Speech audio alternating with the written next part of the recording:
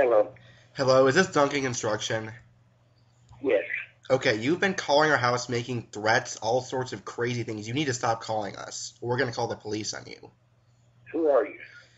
I'm Josh. I live in Florida. You've been calling my house about like 30 times in the last week.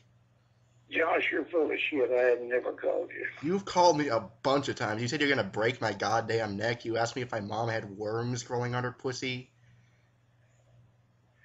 Why are you You're out saying of your head. You're out of your head. You've been fucking calling me. I'm gonna call the cops in your ass. I recorded the calls.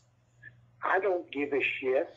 You can do whatever you want to. I haven't called you. All right, you're gonna go to jail. I'm calling the cops in your ass if you call me one more time. You got that?